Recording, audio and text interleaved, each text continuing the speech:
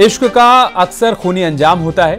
Crime की खबरें सबसे पहले हम आपको जो दिखाएँगे, उसमें लव स्टोरी की कहानी बताएँगे। लखीमपुर खीरी में एक प्रेमी जोड़े का खून से लथपथ शव मिला। एक पुराने खंडहर में एक तरफ़ खून के फैले निशान और क्राइम सीन पड़ा मिला। तमंचा, चाकू और हथियार किसी गहरी साजिश की ओर यहाँ पर इशारा करते हुए नज़र आए। लेकिन सच क्या है? एक रिपोर्ट के ज़रिए आपको दिखाएँगे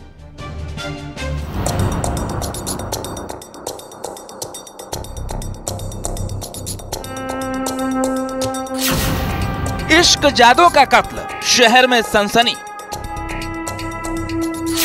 खंडहर हवेली में लाल इश्क। कत्ल, सुसाइड या साजिश का शिकार। दो प्यार करने वालों के हिस्से, वो खौफनाक मौत आई, जिसे इस प्रेमी जोड़े ने सपने में भी नहीं सोचा होगा। कहा दोनों ने हसीन इश्क के सपने देखे थे, साथ जीने मरने की कस्में वादे ज़िंदगी के हसीन लम्हे तो साथ नहीं गुजरे। हाँ दोनों को एक साथ मौत ज़रूर मिली। वो भी ऐसी कि लाश देखने वालों की रूह काँप जाए। खीरी के मितौली थाना क्षेत्र में एक प्रेमी युगल का शव मिला है। शव के चेहरे पर चोट के गंभीर निशान मिले हैं और पास ही में अवैध तमंचा और तीन ज़िंदा कारतूस और दो खाली खोखे भी मिले हैं। हालाँकि पुलिस इसको आत्महत्या मान रही है, लेकिन परिजन हत्या करने का आरोप लगा रही है। तारीख 26 फरवरी, वक्त सुबह 10 बजे, जगह मितौली थाना, लखीमपुर। कस्बे के पास ही अमर शहीद राजा लोने सिंह पुरानी हवेली है, जो अब खंडहर हो चुकी है। इसी खंडहर में घूमते हुए कुछ लोगों ने एक लड़का और लड़की की लाश पड़ी देखी तो हड़कंप मच गया। फ़ौरन पुलिस को मामले की खबर दी गई, लेकिन पुलिस जब मौके पर पहुँची तो मंजर होश उड़ा देने वाला था। लड़का और लड़की दोनों की लाशें क्षत विक्षत थीं। थाना मितौली में भी सूचना मिली थी, थाना फरवरी को, कि एक लड़के और लड़की की बॉडी रखी हुई है। और जो चेहरा है उसमें बहुत ही विवश टाइप का है, शायद गोली लगी थी। इस पे थाना फरवरी अच्छी अधिकारी मौके पर आए, फॉरेंसिक टीम भी आई है। जब घटना की पड़ताल की गई, और- और जो सिचुएशन देखा गया है, फॉरेंसिक की टीम भी अवलोकन ने किया है। अब पुलिस के सामने सवाल ये था कि जिनकी लाश मिली वो कौन है? क्या लड़का और लड़की प्रेमी जोड़े थे? दोनों ने सुसाइड किया या कत्ल हुआ? ऐसे तमाम सवालों के जवाब पुलिस तलाश रही थी कि तभी पास में पड़ा फ़ोन घनघना उठा। सर्किल ऑफिसर ने जब फ़ोन उठाया तो दूसरी तरफ़ से महिला की आवाज़ आ रही थी, जिसने मरने वाली लड़की का पता बताया। जिसके बाद मौके पर पहुँचे लड़का और लड़की के परिवार वालों ने सनसनीखेज आरोप लगाए। आसन ने जब पता लगा कि फलाने जगह के परिहन जो है जो बच्चे मार दिए गए तब हम घर से आए आए आदमी जो मरे पड़े रहे। अब का हम बताई कैसे काम हो कैसे काम हो हमारी समझन मर्डर है या आत्महत्या अपने आप कर ले मर्डर है वो तो डायरेक्ट गोली लगी है खून बहा है। आत्महत्या होती, अलग चीज़ रहे। अब गोली लगी है दोनों सब गायब है। पुलिस प्रथम दृष्टिया इसे सुसाइड करार दे रही है, लेकिन मौका वारदात किसी गहरी साजिश की ओर इशारा कर रहे हैं। क्राइम सीन को देखकर कई सवाल खड़े होते हैं। सवाल ये है, अगर सुसाइड था तो शिनाख्त मिटाने की कोशिश क्यों? अगर सुसाइड था तो इतनी क्रूर मौत कोई क्यों चुनता? अगर सुसाइड था तो क्राइम सीन पर खून के इतने निशान क्यों? अगर सुसाइड था तो लड़के की लाश का सिर का हिस्सा कौन काट ले गया? वैसे भी परिवार के लोग इसे कत्ल करार दे रहे हैं। पता नहीं भैया कौन मार डाली नहीं लगती हम लोगन के बता दे मार डालेंगे। अब भैया पता नहीं का को? भैया हमारे यहाँ पर कौन करो है भैया मार डाली भैया यहाँ बुलाई के बताओ। बुलाई के मार डाली घटना बेहद सनसनीखेज है। लिहाजा पुलिस कप्तान गणेश शाह खुद मौके पर पहुँचे और पूरे मामले की तफ्तीश में कोई कमी न रह जाए, ये सुनिश्चित किया। इसी जाँच के दौरान पता चला कि लड़की और लड़का क्राइम सीन के पास ही मैगलगंज थाना इलाके के रहने वाले थे। लड़की मितौली में एक प्राइवेट अस्पताल में काम करती थी। इसी बीच शायद दोनों का प्रेम प्रसंग शुरू हुआ होगा। लेकिन सवाल ये है कि कातिल कौन है? क्या झूठी इज़्ज़त के नाम पर कत्ल किया गया? अगर हाँ तो ये कत्ल किस लड़का या लड़की, किस तरफ़ के लोगों ने किया होगा? लगा कि एक साथी के द्वारा पहले दूसरे को गोली मारा गया और फिर दोबारा स्वयं को गोली मार ली गई ये तो प्रथम दृष्टा की बात है। बाकी हमने फॉरेंसिक जो टीम अपनी रिपोर्ट गहनता से पोस्टमार्टम के लिए दोनों बॉडी को भेज दिया गया है। जो भी तथ्य सामने आएँगे, उसके आधार पे इन्वेस्टिगेशन किया जाएगा और आगे की कार्रवाई की जाएगी।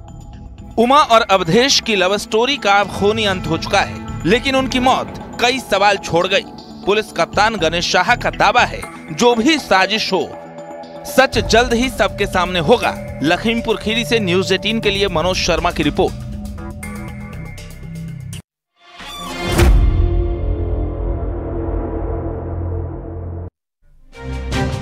खबर हरदोई से, जहाँ पर एक कंपनी में काम करने वाली महिला रहस्यमय तरीके से लापता हो गई। पुलिस ने सीसीटीवी फुटेज खंगाले तो पता चला कि वो आखिरी बार अपने ऑफ़िस में दाखिल हुई थी, लेकिन बाहर नहीं निकली। अब सवाल ही उठता है कि ऑफ़िस में दिखी महिला की लाश नदी तक पहुँची कैसे? कैसे पुलिस ने इस मिस्ट्री को सुलझाया? एक रिपोर्ट के ज़रिए आपको दिखाया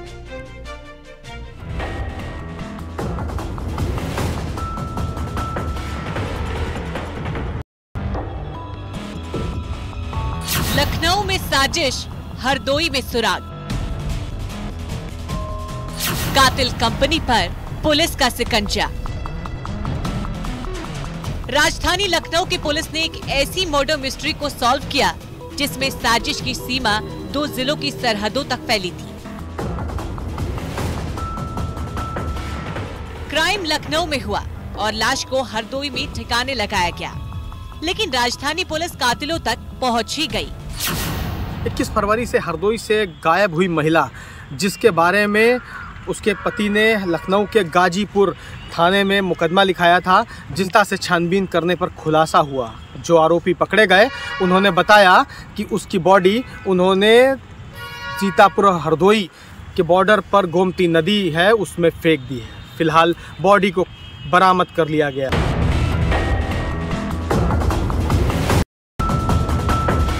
हरदोई की रहने वाली महिला की चंद दिन पहले लखनऊ में हत्या हो गई थी।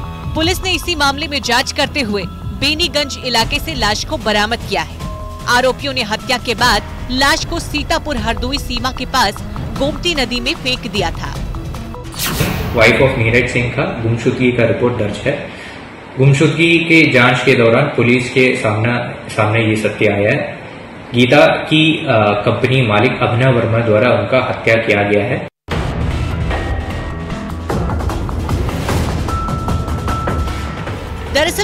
लखनऊ की राइट कॉन्सेप्ट कंपनी में काम करती थी। ये कंपनी विभिन्न प्राइवेट कंपनियों के कर्मचारियों का सत्यापन करने का काम करती है।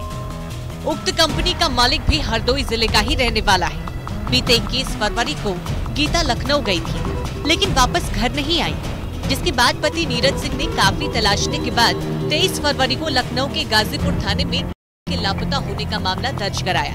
तभी से राजधानी पुलिस इस केस की पड़ताल कर रही थी।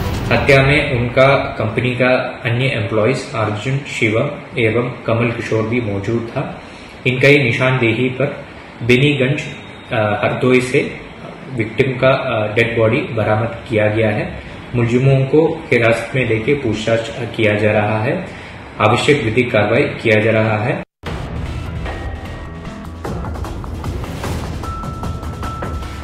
पुलिस ने जब इस केस की पड़ताल शुरू की तो कोई अहम सुराग नहीं था लिहाजा सीसीटीवी कैमरा सर्विलांस के ज़रिए केस में अहम जानकारियाँ हाथ लगी, जिसमें अभिनव शर्मा नाम के किरदार को पुलिस ने हिरासत में लिया और यही से केस की परत दर परत खुलती चली गई। जब ऑफ़िस के सीसीटीवी देखे गए, तब पता चला कि महिला रात में आई तो थी, लेकिन उसके बाद वो बाहर नहीं निकली और एक सबसे बड़ी चीज़ कि रात में जब महिला वहाँ गई, उसके बाद ऑफ़िस खाली करने के लिए जो ऑफ़िस के ऑनर थे, उन्होंने ऑफ़िस रात में डेढ़ बजे खाली किया, जिससे पुलिस को शक हुआ और पुलिस ने उस जो अभिनव वर्मा है, उसको थाने में बुलाया और गहनता से पूछताछ की। पूछताछ के दौरान अभिनव ने पुलिस को बताया कि 21 फरवरी को गीता ने उससे पैसे मांगे थे। इसी को लेकर विवाद हो गया था।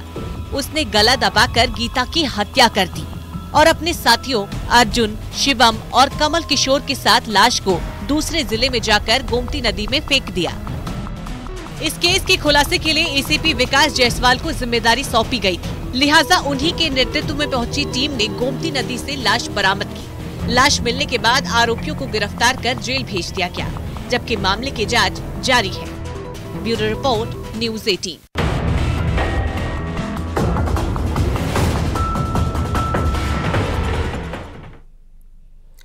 और एक बड़ी खबर बस्ती से है, जहाँ पर पुलिस और स्वात टीम ने पाँच नटवर लाल को गिरफ़्तार किया।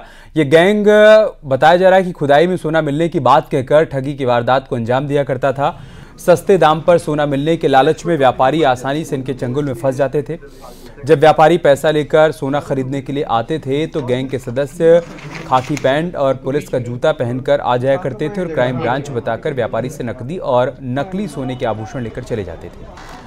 ये गैंग कई जनपदों में व्यापारियों को ठगी का शिकार बना चुका है। ठगों ने एक व्यापारी से 10 लाख रुपए की ठगी को अंजाम दिया था।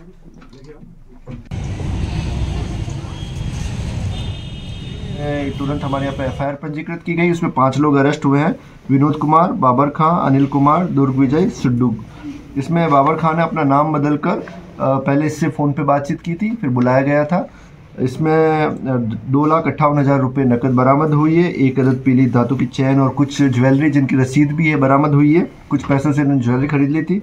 एक सेंट्रो कार और दो मोटरसाइकिल और एक फ़ोन, जो घटना में प्रयुक्त हुआ है, बरामद हुआ है। ये टीम ने बहुत अच्छा काम किया है। टीम को दस हज़ार रुपये का इनाम घोषित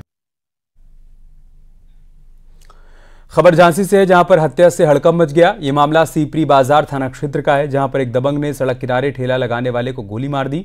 सूचना पर पहुँची पुलिस ने शव को कब्जे में लेकर पोस्टमार्टम के लिए भेज दिया। पुलिस आरोपी की तलाश कर रही है। मृतक मेहंदी बाग का रहने वाला आसपास सीसीटीवी कैमरास जो लगे हुए हैं, इसी के आसपास उसको देखा जा रहा है। एक व्यक्ति ने देखा है घटना के समय में, उनका कहना है कि एक व्यक्ति जो टेला है, उसी के सामने खड़ा होकर गोली मारा है। अभी इस घटना को खुलासा के लिए अलग अलग टीम गठन किया गया है। मौके पे हम फ़ील्ड यूनिट और पूरा हमारा क्राइम ब्रांच का टीम सब मौजूद है। आसपास लोगों से भी पूछताछ की जा रही है। इस घटना को जल्दी खुलासा किया जाएगा।